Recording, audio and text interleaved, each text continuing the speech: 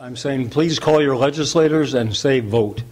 Vote on the proposal that's been worked on for the last eight months, that's before the House and the Senate, that's been vetted by seven legislative committees, and that is a sound package, been worked out, has support of the majority of the Minneapolis City Council and the mayor, and it's a go.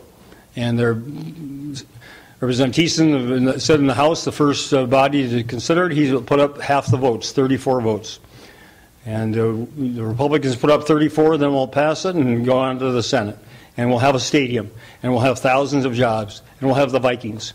So I would ask Minnesotans to call your legislators and say, quit fooling around. This is not about politics for November. This is not about your jobs for November. It's about our jobs. It's about our future. It's about our team.